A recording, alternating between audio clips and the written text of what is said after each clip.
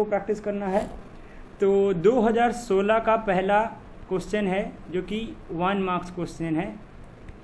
Given that A is equals to max value of A ये पूछा गया है। आपको 30 सेकंड की समय देता हूँ सोचने के लिए। 30 सेकंड सोचिए, उसके बाद मैं बताऊँगा।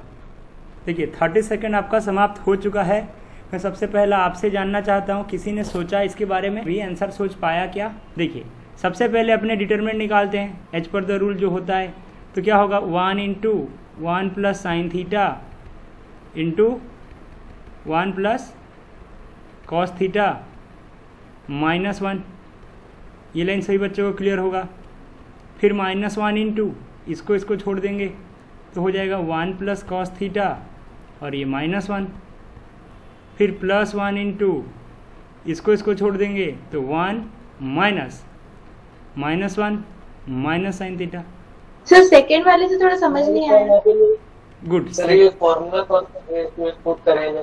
अच्छा फॉर्मूला में थोड़ा बता देना चाहता हूँ। देखिए करना कैसे होता है? सबसे पहले आपको डिसाइड करना है कि कौन सा रो या फिर कौन सा कॉलम को यूज़ करके डिटर्मिनेंट फाइंड आउट करना है? ये पहला चीज़ होता है। तो मैंने रो वन रो वन यानी ये वाले रो को यूज़ करके डिटर्मिनेंट निकाल रहा हूँ। तो पहले ये एलिमेंट को लेना। वन तो वो एलिमेंट इनटू वो एलिमेंट जो रो पे होगा एंड जो कॉलम पे होगा, उसको छोड़ देंगे। तो बचा क्या? One plus sine theta, one one one plus cos theta. यहाँ तक समझ में आया कि नहीं आया? इसमें क्रॉस मल्टीप्लाई कर देना है। तो क्रॉस मल्टीप्लाई के लिए वन प्लस साइन थीटा के साथ वन प्लस कॉस थीटा को करा मैंने। माइनस दिया, फिर वन इंटू वन को कर दिया। तो this into this minus this into this ये हो गया। अब सेकेंड नंबर पे जब जाऊँगा तो वहाँ पर मैं माइनस वन लिखा। ठीक है? माइनस वन ठीक है? तो हमेशा आप ऐसा करोगे। यहाँ पर क्या होगा देखिए, जो ऑड पोजीशन होता है ना ऑड पोजीशन के लिए हमेशा माइनस लगाना। और पोजीशन का मतलब जैसे देखिए ये जो पहला वाला वन था उसका पोजीशन क्या था? फ़र्स्ट रो फ़र्स्ट कलम क्या पोजीशन था? First row first column first row first column मतलब अगर वन प्लस वन करोगे तो आपको मिलता है टू तो इसी के लिए वन के आगे प्लस लगा।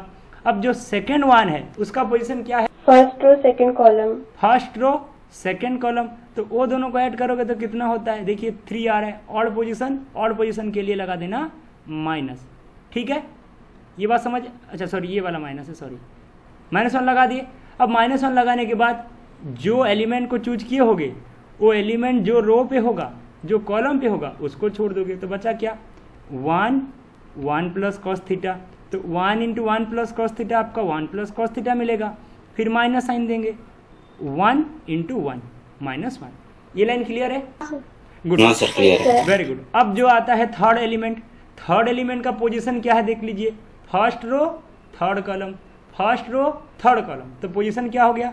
वन प्लस थ्री फोर तो ये तो इविन पोजीशन है और इविन पोजीशन के लिए लगाना है प्लस तो मैंने लगाया प्लस वन फिर कॉली ब्रैकेट दिया।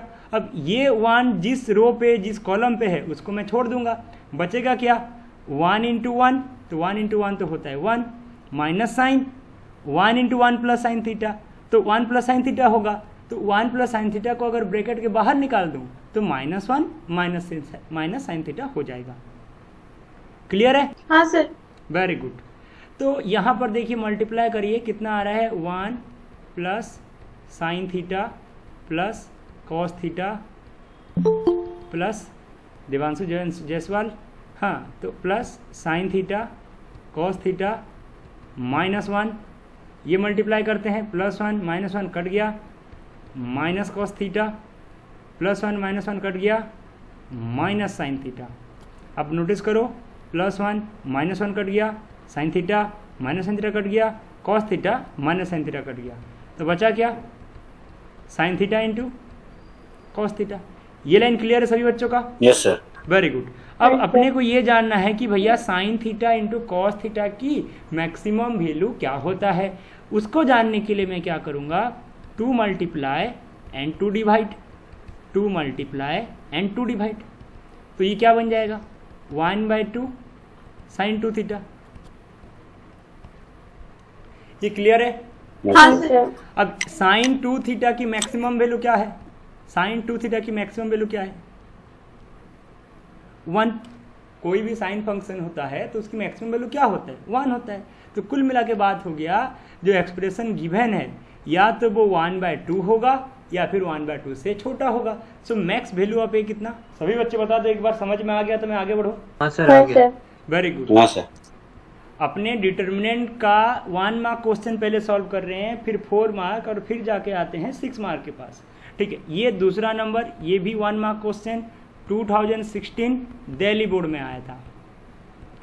क्वेश्चन ये है if x belongs to natural number and determinant of x plus three minus two minus three x two x is equals to 8 then find value of x then find x ये question है। आपको 30 second का समय मिलता है और समय शुरू हो गया अब। देखिए 30 second x is equal to two sir x is equal to plus minus very good very good x is equal to two किसने बोला? इज़ इक्वल टू टू किसने बोला? एक्स इक्वल टू किसने बोला? हाँ देखिए- हाँ हाँ हाँ देखिए सबसे पहले आप क्या करोगे? डिटरमिनेंट निकालोगे। डिटरमिनेंट निकालोगे कितना होगा? Two x square plus six x ये हो जाएगा plus six x is equals to eight two x square है ना? अच्छा सॉरी ये माइनस सिक्स एक्स होगा। तो ये कैंसिल हो जाएगा। Two x square is equal to eight x square is equal to four x is equal to plus minus two लेकिन given what x belongs to natural number belongs to natural तो number x is equal to two will be your answer सभी बच्चों को समझ में आ गया? Good अब आता है नेक्स्ट क्वेश्चन नेक्स्ट क्वेश्चन दे रखा है ये है 2015 को में आया था। If A is equals to one two three minus one and b is equals to one three minus one one then find determinant of A B ये क्वेश्चन है। तो आपका 30 सेकंड शुरू होता है। आपका 30 सेकंड समाप्त हुआ। किसी ने भी आंसर निकाला? रुकिए। ट्वेल्व ट्वेल्व ट्वेल्व 12 देखिए सबसे पहले मैं बता दूँ। ट्वेल्व होगा।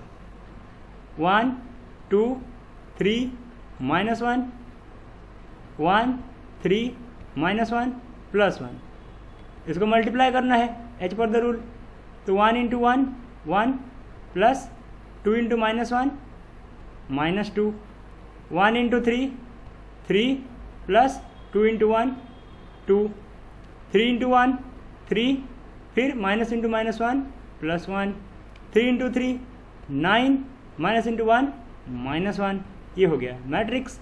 अब बना दो ये माइनस वन ये हो गया फाइव ये हो गया फोर ये हो गया एट। अब डिटर्मिनेंट पूछा है डिटर्मिनेंट कितना होगा?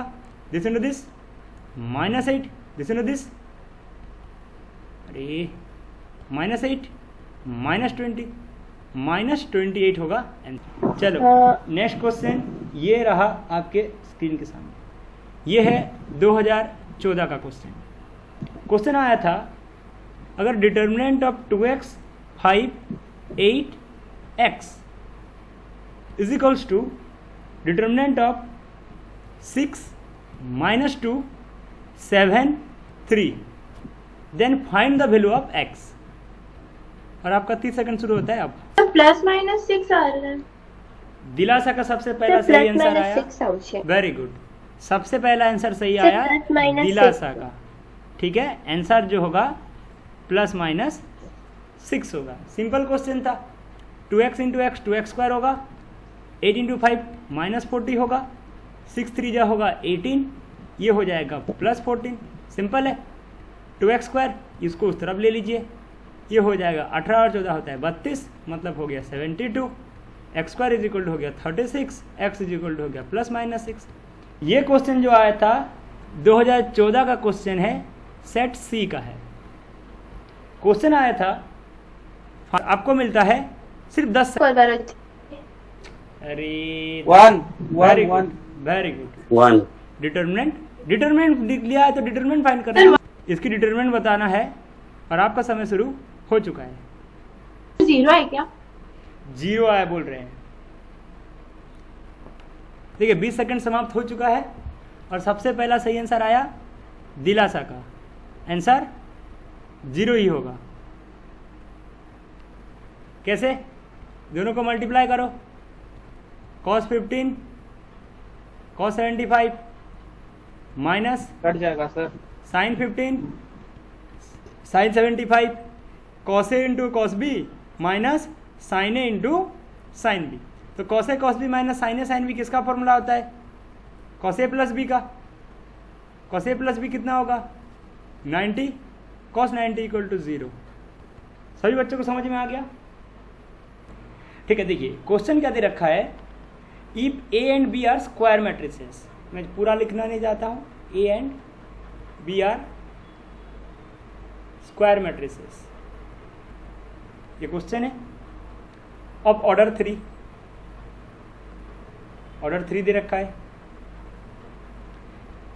फिर दे रखा है कि determinant of A is equals to two and A into B is equals to two into I ये दे रखा है। Then determinant of B is equal to कितना होगा? ये क्वेश्चन क्वेश्चन को पहले समझ लो। चलो, सबसे पहले देखिए, आपको determinant of A is equal to two दे रखा है। डिटर्मिनेंट का प्रॉपर्टी ये है। डिटर्मिनेंट का प्रॉपर्टी ये है कि determinant of A B is equals to determinant of A into determinant of B समझ में आ रहा है? Determinant of A B is equal to determinant of A into determinant B determinant of A B is equal to कितना? Two I का determinant is equal to determinant of A determinant of B ये line तक सही बच्चों का clear है? हाँ sir very good अब this is equal to what this is equal to two की power three into determinant of I into determinant of A into determinant of B ये लाइन मैं एक्सप्लेन करता हूँ, ये क्या चीज़ है। एक बात बताना चाहता हूँ आपको टू आई का क्या मतलब होता है? Two into one zero zero zero one zero zero zero one यही होता है? टू आई का मतलब? जब इसको मल्टीप्लाई कर हाँ, देंगे सर। तो ये कुछ ऐसा दिखेगा two zero zero zero two zero zero zero two ऐसा दिखेगा। अरे हाँ अब जब इसका डिटर्मिनेंट निकालने के लिए बोला जाए मैट्रिक्स के जगह पे मैं डिटर्मिनेंट का साइन लगा दूँगा।